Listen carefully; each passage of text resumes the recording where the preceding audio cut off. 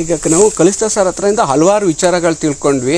ಯಾಕೆಂದರೆ ನಮ್ಮದು ಹಿಂದಿನ ಕಾಲದಲ್ಲೆಲ್ಲ ಬಂದು ಒಂದು ಸಾವಯವ ಕೃಷಿನೇ ಮಾಡ್ತಾಯಿದ್ರು ಒಂದು ದನಿನ ಗೊಬ್ಬರ ಇರ್ಬೋದು ನಮ್ಮದು ಎಲೆಗಳೆಲ್ಲ ಯೂಸ್ ಮಾಡಿಕೊಂಡು ಅವ್ರಿಗೆ ಏನೇನು ಬೇಕು ಒಂದು ಸಾವಯವ ಕೃಷಿ ಯೂಸ್ ಮಾಡ್ತಾರೆ. ಇವಾಗಿನ ಜನ್ರೇಷನ್ ಏನು ಮಾಡಿದ್ದಾರೆ? ಪೆಸ್ಟಿಸೈಡು ಈಗ ಪೆಸ್ಟಿಸೈಡ್ ಯೂಸ್ ಮಾಡಿಬಿಟ್ಟು ಜಾಸ್ತಿ ಬೆಳೆ ಯೂಸ್ ಮಾ ತೆಗೆಯೋದನ್ನ ಅಭ್ಯಾಸ ಮಾಡ್ಕೊಂಡಿದ್ದಾರೆ.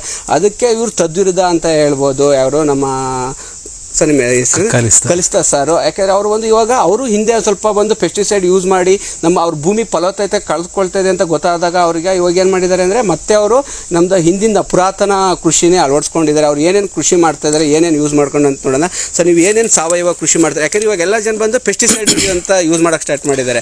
ನೀವು ಸಾವಯವ ಕೃಷಿ ಎಷ್ಟು ವರ್ಷದಿಂದ ಮತ್ತೆ ನೀವು ಸಾವಯವ ಕೃಷಿಯಿಂದ ಸ್ಟಾರ್ಟ್ ಮಾಡಿದ್ರಿ? ನಾವು ಎರಡು ವರ್ಷದ ಹಿಂದೆಯಿಂದ ವೇಸ್ಟ್ ಡಿಕಂಪೋಸರ್ ಅಂತ ತಿಳ್ಕೊಂಡು ಇದನ್ನ ಉಪಯೋಗಿಸ್ತಾ ಇದ್ದೀವಿ. ಈಗ ಸಗಣಿ ಗೊಬ್ಬರ ಇವತ್ತಿಗೆ ಹಾಕ್ಲಿಕ್ಕೆ ಆಗೋದಿಲ್ಲ. ತುಂಬಾ ಲೇಬರ್ ಕಾಸ್ಟ್ ಮತ್ತೆ ಸಿಗ್ನೆಸ್ ಅವೈಲಬಿಲಿಟಿ ಇಲ್ಲ. ಸೊ ಅದ್ರ ಬದಲಿಗೆ ಇದನ್ನ ಯೂಸ್ ಮಾಡ್ಬೋದು. ಇದು ತುಂಬಾ ಚೀಪ್ ಇದು. ಇದು ನಮ್ಮ ಸೋಮವಾರಪೇಟೆಯಲ್ಲಿ ಭುವನ ಮಂದಾರ ರೈತ ಉತ್ಪಾದಕರ ಕಂಪನಿಯಲ್ಲಿ ಮಾರಾಟಕ್ಕೆ ಸಿಗ್ತಾ ಇದೆ. ನಲ್ವತ್ತು ರೂಪಾಯಿಗೆ ಮಾರ್ತಾ ಇದ್ದೀವಿ. ಇದು ತುಂಬಾ ಈಸಿ ಇದು ಫಸ್ಟ್ ಇದ್ರ ಬಗ್ಗೆ ತಿಳ್ಕೊಬೇಕಾದ್ರೆ ಒಂದು ದಿನ ಇಡೀ ಮಾತಾಡ್ಬೋದು. ತುಂಬಾ ಶಾರ್ಟ್ ಆಗಿ ಹೇಳ್ತೀನಿ. ಈ ಡಬ್ಬನ ತಂದ್ಬಿಟ್ಟು ಇನ್ನೂರು ಲೀಟರ್ ನೀರಿಗೆ ಹಾಕಿದ್ರೆ ಎರಡು ಕೆ ಜಿ ಕಪ್ಪು ಬೆಲ್ಲ ಹಾಕಿ ಇನ್ನೂರು ಲೀಟರ್ ನೀರು ಹಾಕಿ ಒಂದು ಡ್ರಮ್ಮಿಗೆ ಸುಡಿ ಈ- ಥರ ಡ್ರಮ್ಮು ಇದು ಐನೂರು ಅಂದರೆ ಐದು ಕೆ ಜಿ ಬೆಲ್ಲ ಹಾಕಬೇಕು. Okay. ನೂರು ಲೀಟ್ರಿಗೆ ಒಂದು ಕೆ ಜಿ ಬೆಲ್ಲ. ಇದಕ್ಕೆ ಎರಡು ಕೆ ಜಿ ಬೆಲ್ಲ ಹಾಕ್ಬಿಟ್ಟು ಬೆಳಿಗ್ಗೆ ಬೆಲ್ಲನ ಬಿಳಿ ಬೆಲ್ಲನ? ಕಪ್ಪು ಬೆಲ್ಲ ಕಪ್ಪು ಬೆಲ್ಲ ಒಳ್ಳೆಯದು ಅದ್ರ ಕೆಮಿಕಲ್ ಜಾಸ್ತಿ ಇರುವಂಥದ್ದು ಆಗೋದಿಲ್ಲ. ಒಳ್ಳೇದಲ್ಲ. ಹಾಕಿ ಬೆಳಿಗ್ಗೆ ಸಾಯಂಕಾಲ ಆಕ್ಸಿಜನ್ ಕೊಡ್ಲಿಕ್ಕೆ ತಿರುಗಿಸ್ಬೇಕು ಅದನ್ನ ಇದನ್ನ ಎಷ್ಟು ಹಾಕ್ಬೇಕು ಇದನ್ನ ಫುಲ್ ಹಾಕೋದು. ಫುಲ್ ಹಾಕ್ಬೇಕು. ಇದೊಂದು ಬಾಟ್ಲು ಫುಲ್ ಹಾಕ್ಬಿಟ್ಟು ಎರಡು ಕೆಜಿ ಬೆಲ್ಲ ಹಾಕ್ಬಿಟ್ಟು ನೀರು ಹಾಕ್ಬಿಟ್ಟು ತಿರುಗಿಸ್ತಾ ಇರಬೇಕು. ಬೆಳಿಗ್ಗೆ ಸಾಯಂಕಾಲ ತಿರುಗಿಸ್ಬೇಕು. ಏಳು ದಿನ ಆದಮೇಲೆ ಈ ಹಾಲನ್ನ ಹೆಪ್ಪಾಕ್ತೀವಲ್ಲ? ಅದೇ ಥರ ಇದರಿಂದ ಹತ್ತು ಲೀಟ್ರ್ ತೆಗೆದು ಈ ಡ್ರಮ್ಮಿಗೆ ಹಾಕೋದು.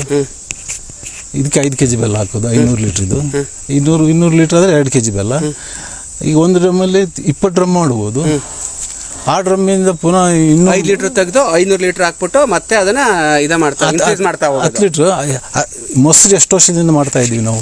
ಈಗ ಈಗ ಹಾಲು ಎರಡು ಲೀಟ್ರ್ ತಂದ್ರೆ ಒಂದು ಎರಡು ಹನಿ ಹಾಕ್ತೀವಿ.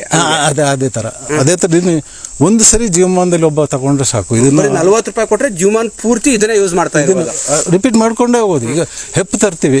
ಪುನಃ ಅದನ್ನು ಕಂಟಿನ್ಯೂ ಮಾಡ್ಕೊಂಡು ಹೋಗ್ತೀವಲ್ಲ? ಸೇಮ್ ಅದೇ ಥರ ಇದನ್ನ ಕಂಟಿನ್ಯೂ ಮಾಡ್ಕೊಂಡು. ಏನೆಲ್ಲ ಏನಕ್ಕೆಲ್ಲ ರೋಗಕ್ಕೆ ಯೂಸ್ ಆಗುತ್ತೆ ಇದು?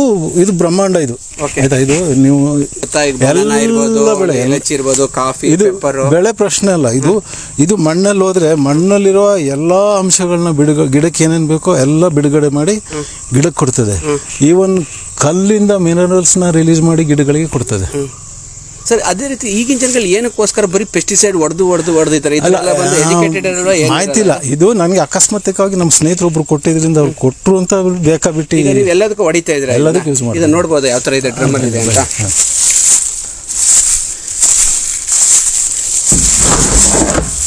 ನೋಡಿ ಇಲ್ಲಿದೆ. ಸ್ಮಾನ ಸ್ಮೆಲ್. ನೋಡಿ ಒಂಥರ ಯಾವ ತರ ಸೇಂದಿ ವಾಸನೆ ಇದೆ. ಓಕೆ. ಕೆಟ್ಟ ವಾಸನೆ ಬಂದ್ರೆ ಸರಿ ಇಲ್ಲ ಅಂತ ಇದಕ್ಕೆ ಹಾಕಂದ್ರೆ ಸ್ಪ್ರಿಂಕ್ಲರ್ ಮಾಡೋದು ಅಷ್ಟೇ? ಯಾಕೆ ಬೇಕಾದ್ರೆ ಕೊಡಿ. ಐದು ಡ್ರಮ್ ಸಾವಿರ ಲೀಟ್ರು ಒಂದು ಎಕರೆಗೆ. ಅದೇ ರೀತಿ ಏಲಕ್ಕಿ ಹೊಡೆದಿದ್ರ ಸರ್ ಇದನ್ನ? ಹೊಡೆದಿದ್ವಿ ನೋಡಿ ಐದು ಸರಿ ಕೊಟ್ರೆ ನೀವು ಹತ್ತು ಮೂಟೆ ಗೊಬ್ಬರ ಹಾಕೋ ಕಡೆ ಎರಡು ಮೂಟೆ ಗೊಬ್ಬರ ಹಾಕಿದ್ರೆ ಸಾಕು. ಹೆಚ್ಚು ಗೊಬ್ಬರನೇ ಬೇಡ. ಕಾಫಿ ತೋಟಕ್ಕೆಲ್ಲ ಏನು ಗೊಬ್ಬರನೇ ಬೇಡ. ಯಾಕೆಂದರೆ ಕಸ ಕಡ್ಡಿ ಬೀಳ್ತಾ ಇರ್ತದಲ್ಲ ಅದೇ ಸಾಕು. ನೋಡಿ, ಈ ಈ ಗೇರಕ್ಕಿ ಗಿಡಗಳಿಗೆ ಈ ಟೂರಿಸ್ಟ್ಗಳು ಬಂದಾಗ ಕೇಳ್ತಾರೆ ಅಂತೇಳಿ ಅಲ್ಲ ತುಳ್ ತುಳಿದು ತುಳಿದು ಇಟ್ಟಿದ್ದೀರಿ ಹಿಂದೆ ಬನ್ನಿ. ಗೆರೆ ತುಳಿದಿದ್ದೀರಿ ಇದು ಇದಕ್ಕೆ ನೋಡಿ ಯಾವುದೇ ಕಾಯಿಲೆ ಇಲ್ಲ. ಅದಕ್ಕೆ ಶಾರ್ಟ್ ಹೋಲ್ ಬೋರರ್ ಅಂತ ಒಂದು ಮೇಜರ್ ಪ್ರಾಬ್ಲಮ್ ಇದೆ. ನೋಡಿ ಒಂದೇ ಒಂದು ಬೋರರ್ ಹೊಡೆದಿಲ್ಲ ಇದಕ್ಕೆ ಓಕೆ ಇದನ್ನೇ ಹೊಡೆದಿದ್ರೆ ಇದಕ್ಕೆ ಇದನ್ನೇ ಡೈಲ್ಯೂಟ್ ಮಾಡಿ. ಮೂರನೇ ಒಂದು ಭಾಗ ಅಥವಾ ಮೂರನೇ ನಾಲ್ಕು ಭಾಗ ನೀರು ಹಾಕ್ಬಿಟ್ಟು ಇದಕ್ಕೆ ವಾರಕ್ಕೊಂದ್ಸರಿ ನನ್ನ ಮಗ ಹೊಡಿತಾ ಇರ್ತಾನೆ.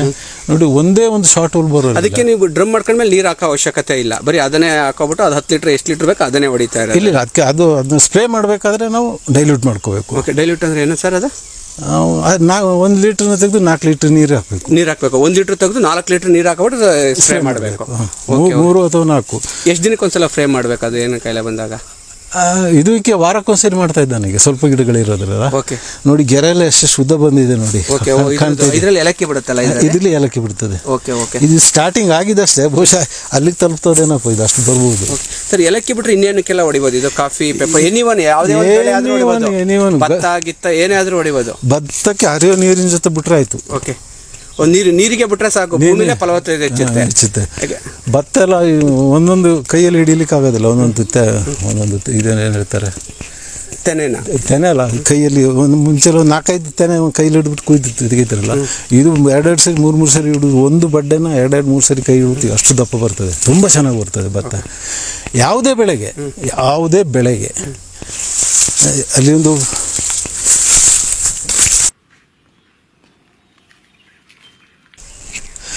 ಈ ಕಾಫಿ ಗಿಡಗಳಿಗೆ ನಾವು ಸೆಪ್ಟೆಂಬರಲ್ಲಿ ಹೆಚ್ಚು ಕಮ್ಮಿ ಒಂದು ಸಾವಿರ ಲೀಟ್ರಷ್ಟು ವೇಸ್ಟ್ ಕಂಪೋಸರು ಸ್ಪ್ರೇಯರ್ ಮುಖಾಂತರ ನೆಲಕ್ಕೆ ಕೊಟ್ಟು ಅಲ್ಲಿದ್ದ ನೆಲಕ್ಕೆ ಗಿಡಕ್ಕಲ್ಲ ಭೂಮಿಗೆ? ಭೂಮಿಗೆ. Okay coffee ಬೆಟ್ಟಿಗೆ.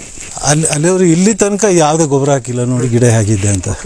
ಮತ್ತು ಈ ವೆಂಡು ಇದು ಸ್ವಲ್ಪ ಕೆಂಪಾಗಿತ್ತು. ಸೊ ಮಗ ಅದಕ್ಕೆ ಏಲಕ್ಕಿಗೆ ಹೊಡೆಯುವಾಗ ಇದಕ್ಕೂ ಸಹ ಇದು- ಬಡ್ಡೆಗೆ ಹಾಕ್ತಾ ಇದ್ದ. ಬಡ್ಡೆ ಹಾಕೋದ್ರಿಂದ ಇದು ಇಂಪ್ರೂವ್ ಆಯಿತು. ಎಲ್ಲಿ ನೋಡಿ ಸಿಲ್ವರ್ ಮರ. ಆ ಸಿಲ್ವರ್ ಮರ ಈ ಸಿಲ್ವರ್ ಮರ ಈ ಸಿಲ್ವರ್ ಮರದ ಗ್ರೋತ್ ನೋಡಿ ಹೇಗಿದೆ ಅಂತ. ತುಂಬಾ ಚೆನ್ನಾಗಿದೆ. ಸರ್ ಇದು ಆಕ್ಚುಲಿ ಇದನ್ನ ಬಂದು ಸಿಲ್ವರ್ ಮರ ತೋರಿಸ್ಬೇಕು. ತೋರಿಸಿದ್ರೆ? ಅದು ಅದನ್ನು ಕಂಪೇರ್ ಮಾಡಿ ಇದನ್ನು ಕಂಪೇರ್ ಮಾಡಿ. ನೋಡಿ ಇದಕ್ಕೆ ಮಾತ್ರ ವೇಸ್ಟ್ ಡಿಕಂಪೋಸರ್ ಆಗ್ತಾ ಇದೆ ಆಕ್ಚುಲಿ ಅದು ಭೂಮಿಗೆ ಹಾಕ್ಬೇಕಾ ಅಥವಾ? ಭೂಮಿಗೆ ಹಾಕಬೇಕು. ಇದು ಡಿಕಂಪೋಸರ್ ಹಾಕದೆ ಭೂಮಿಗೆ ಗಿಡಗಳಿಗೆ ಹಾಕಂಗಿಲ್ಲ. ಬಡ್ಡಿಗೆ. ಸ್ಪ್ರೇನು ಮಾಡ್ಬೋದು. ಹ್ಮ್. ಡೈಲ್ಯೂಟ್ ಮಾಡಿ. ಓಕೆ. ಡೈಲ್ಯೂಟ್ ಮಾಡಿಸ್ಬಿಡು ಬಡ್ಡೆಗೆ ಹಾಗೆ ಒಯ್ದು ಬಿಡ್ಬೋದು.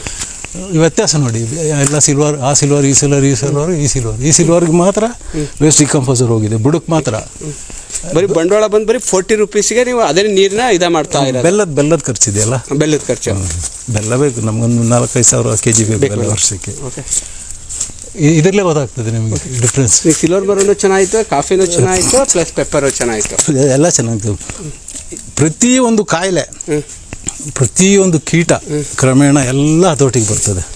ಓಕೆ ಅದೇ ರೀತಿ ನಮ್ಮ ಪ್ರೇಕ್ಷಕರಿಗೆ ಏನಕ್ಕೆ ಹೇಳ್ತೀನಿ ಅಂದರೆ ನಮ್ಮ ಇಂಡಿಯಾದಲ್ಲಿ ಒನ್ ನೈಂಟಿ ಫೈವ್ ಮ್ಯಾ ಇಡೀ ವರ್ಲ್ಡಲ್ಲಿ ಒನ್ ನೈಂಟಿ ಫೈವ್ ಮ್ಯಾಲ್ ಕಂಟ್ರಿ ಇದಾವೆ. ಎಲ್ಲ ಕಂಟ್ರಿಲೂ ಬಂದು ಪೆಸ್ಟಿಸೈಡ್ ಬ್ಯಾನ್ ಆದರೂ ಇಂಡಿಯಾದಲ್ಲಿ ಬ್ಯಾನ್ ಆಗಿಲ್ಲ. ಯಾಕಂದರೆ ನಮ್ಮ ಕಲಿಸ್ತಾ ಸರ್ ಅವರು ಹಿಂದೆ ಒಂದು ಪೆಸ್ಟಿಸೈಡ್ ಯೂಸ್ ಮಾಡ್ತಾ ಅವ್ರ ಭೂಮಿ ಒಂದು ಹಾಳಾಗ್ತದೆ ಅಂತ ಗೊತ್ತಾದಾಗ ಅವರು ಒಂದು ಸಾವಯವ ಕೃಷಿಗೆ ಒಂದು ಎರಡು ವರ್ಷ ಆಯ್ತಲ್ಲ ಸರ್ ಚೇಂಜ್ ಆಗಿ? ಹಾಂ ಎರಡು ವರ್ಷ. ಎರಡು ವರ್ಷ ಆಯಿತು. ಪ್ರತಿಯೊಬ್ಬರು ಆ ಥರ ಇನಿಷಿಯೇಟಿವ್ ತಗೊಂಡು ನಮ್ಮ ಇಂಡಿಯಾ ಮಣ್ಣ ಪೆಸ್ಟಿಸೈಡನ್ನ ನಮಗೆ ಒಳ್ಳೆ ಆರೋಗ್ಯ ಬೇಕು ಅಂದರೆ ಒಂದು ಸಾವಯವ ಕೃಷಿಗೆ ಒಂದು ಚೇಂಜ್ ಆಗಬೇಕಂತ ಹೇಳ್ತಾ ನಾನು ಮಾತನ್ನು ಮುಗಿಸ್ತೇವೆ. ಜೈ ಹಿಂದ್ ಜೈ ಭಾರತ್. ಮತ್ತೆ ಒಂದು mynatureindia.com. For those who are concerned about the development of our country and inclination towards nature protection are welcome to take part and serve in this venture with open mind. We also greet any type of suggestion towards the development of our institution. Plastic Free India, jobs to all here, with complete empowerment to all in this resourceful nation is our mission and responsibility. Our travel is towards nature. Please join hands with us in this venture. Jai Hind, Jai Bharat Mata, Vande Matram. MyNatureIndia.com, MyNatureIndia.in, MyNatureIndia.org. Coming soon.